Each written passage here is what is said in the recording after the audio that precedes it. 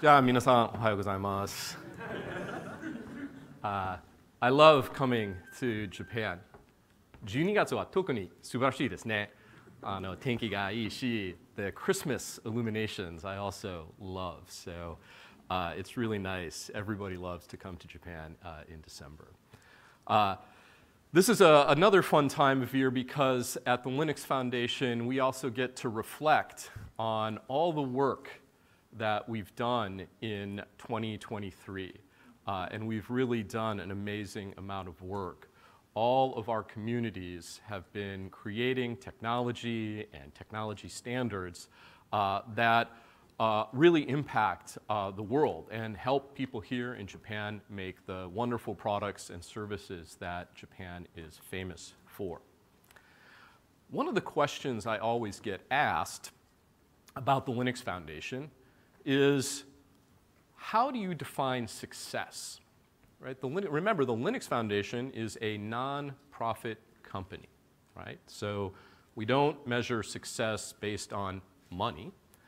Um, the way that we measure our success is based on impact.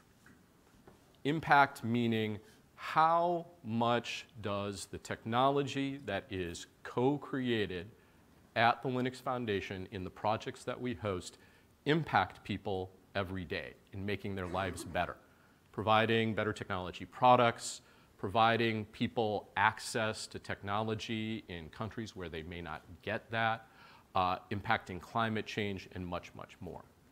And so today I want to talk to you about some of the impact the Linux Foundation has had on the technology industry.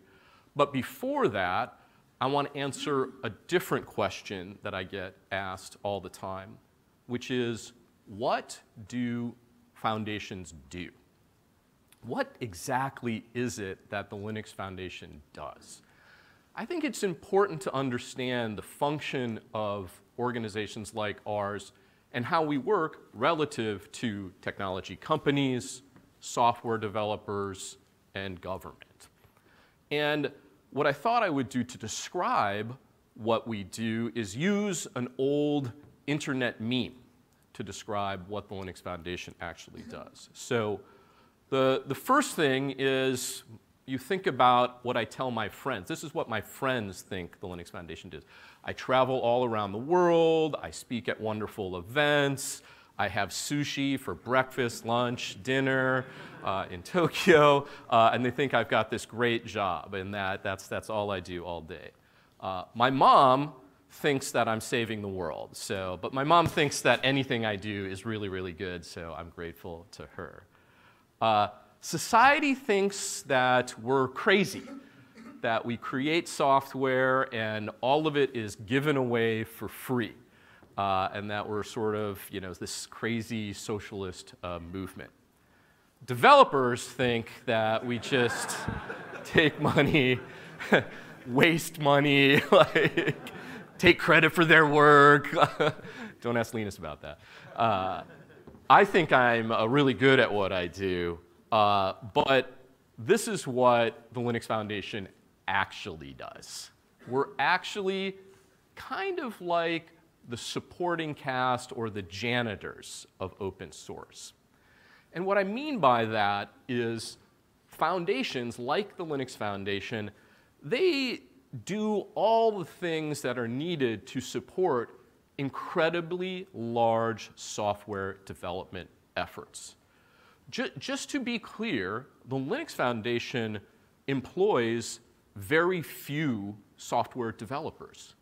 Now, we happen to have a couple of very, very special software developers who are here today that we do employ at the Linux Foundation.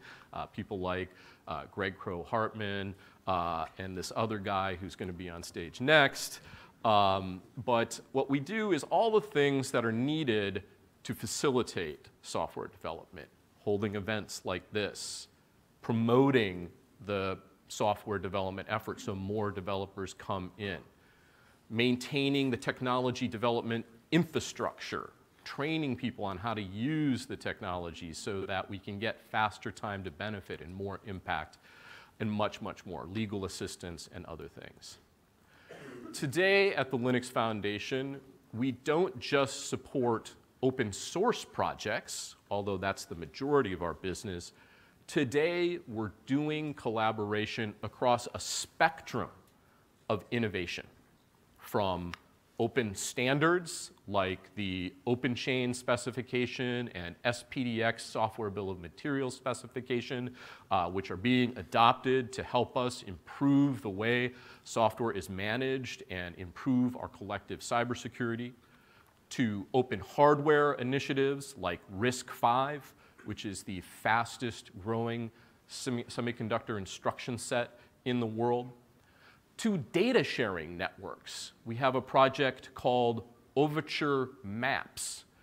This is a very large geospatial mapping data initiative to allow uh, organizations like Amazon, Microsoft, TomTom, Meta to make better mapping experience, better augmented reality experience by sharing mapping data collectively normalizing it, and then applying artificial intelligence to improve it. I predict you'll see a lot more data sharing efforts at the Linux Foundation in 2024 as people start to understand that in order to take advantage of artificial intelligence technology and large language models, it's very important to understand how to procure and track what data is being used in those models so that everyone is clear and can trust that technology. The Linux Foundation focuses on a small set of open source and standards. There are probably, I can't remember the latest count, 90 million uh, open source projects on GitHub. It's some crazy number. At the Linux Foundation, we have about a thousand uh, projects. However, they really are the most important projects in the world. The way we decide what we work on is we ask three questions. Does this effort move the needle on industry and society? Will this software development effort, will this standard have impact? The second question we ask is, do you need a neutral home to collaborate? Does more than one person and organization need to come together? Then we are a good neutral facilitator. And then finally, we ask, can we raise the resources to support this community effectively? And when that all comes together, we get this kind of an outcome. We get great projects like Linux, Node.js, Kubernetes that are used in amazing products, Azure, Amazon Cloud Services, Fujitsu's cloud services, and so forth those companies make money and they employ developers who contribute back to the open source project with bug fixes, performance improvements. So better projects, better products, more profits, more investment back in the project, and it's a virtuous cycle. And that is why open source is so insanely successful. And this is all of the things that you need to do around the software development effort to make sure that the product, a project, product, profit, that that cycle can happen. Developer relations, intellectual property management, technical documentation, developer experience, these are the things that are very important. To give you an idea of how effective this form of development is, I looked at all the projects across the Linux Foundation and all of the developers who work in those communities every day. So the Linux Foundation on any day has an average of about 600,000 contributors. And I took the average software engineering salary globally uh, this is from Nigeria, which is on the low end, to the United States, which is the highest. And the average salary for software development around the world is about $43,000. And so if you multiply the number of developers by the average salary of a software developer, it is a $26 billion number. So last year, Microsoft, in their uh, SEC filings, in their public reports, uh, stated that they spend about $22 billion, Microsoft being the largest software company in the world. So if you look at our number, technically, the Linux Foundation is really one of the largest software companies in the world with an incredibly large amount of people working every day. So all of that comes together in order to produce impact. And that is ultimately what we measure our value on. And I want to just give you a few examples. I won't, I won't read all of these, but the impact of Linux Foundation projects has been tremendous. The Linux kernel continues to be the single most important software development effort in the world. It continues to grow in market share. It continues to adopt, adapt into new forms of computing. It continues to add tremendous value. The collective development that goes on in Linux cannot be understated. When uh, a mobile device manufacturer uh, helps improve battery life in a mobile Android phone and then upstreams that code to help improve the overall performance to power ratio of the kernel. Every data center in the world uses less power and cooling. It is the single best example of a non-zero sum benefit in the world. But we also have an amazing uh, set of other efforts that we do at the Linux Foundation, whether it's open standards or education and training. Last year, the Linux Foundation trained uh, we, we hit a milestone of having trained 3 million developers on open source related technology. We have impact in vertical industries, in networking and telecommunications. The uh, ONAP project, the Open Network uh, Automation Platform, is used to run production networks by mobile operators who connect billions of people all over the world. Our 5G Super Blueprint project is defining the future of wireless telecommunications and leveraging open source to accelerate it. In cloud computing, Kubernetes needs no introductions. It is an amazing effort that has redefined how developers create, deploy, and maintain cloud applications. And in the newest trend, AI and data, the Linux Foundation is home to projects like PyTorch. PyTorch is how you actually build large language models and ML models, and it is a fundamental building block for artificial intelligence. One of my favorite recent stories about PyTorch is the fact that uh, we had an event in San Francisco, and we only had room for 600 people. Uh, and so many people wanted to come to the PyTorch event they were selling tickets on Stack Overflow uh, to each other, scalping tickets. I've never seen a Linux Foundation event, tickets being scalped online.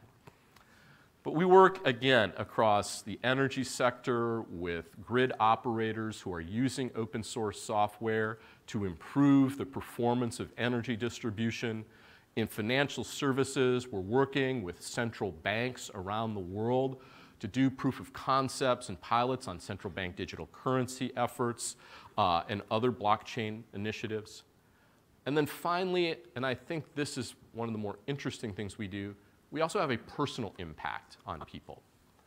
Every time I come to a Linux Foundation event, at some point someone will run up to me and say, Jim, Jim, I just want to thank you. The Linux Foundation really changed my life. You offered me a scholarship to come to an event. I met my new employer, and I got a job because the chance that the Linux Foundation gave me to attend these events. Or I meet a developer who says, you know, I participated in a kernel mentoring program. And as a result of that mentoring program, I got a life-changing job at a company I love to work for. And all of us at the foundation are so proud of that work. So in the last few minutes, I want to tell you the secret of the Linux Foundation. And this is the most important thing for y'all to remember because all of you are either developers or you work with developers. And remember, at the Linux Foundation, we have to work with over 600,000 developers every day to achieve impact, and almost all of them do not work for us. We have to lead through influence. And so the secret to the Linux Foundation are these three words. If you want to learn how to work with engineers, developers to get things done, you have to be helpful. You have to genuinely do things that make the job of software developers easier. Improve how they write documentation, build better infrastructure, provide them with help when they need it. Uh, you need to be optimistic, hopeful. If you're hopeful, then when an open source developer might get angry or this may surprise you, sometimes open source developers can be very critical. but if you're hopeful, uh, it doesn't get you down. You keep focusing on impact, not on that thing you're doing just that day. But the number one secret for working with developers to getting good technology outcomes is humility. To be able to not lead through edict, not lead through command, but lead from behind, through influence, through working collaboratively to solve big problems. And if you can have these three qualities, if you can be helpful, hopeful, and humble, you can achieve amazing success, even with people who don't work with you, which in 2023 is the pinnacle of achievement, working collectively to achieve impact. And so that, in retrospect, in 2023, is how, why we do things and how we do things at the Linux Foundation. And I look forward to continuing working with all of you for years to come. Thank you.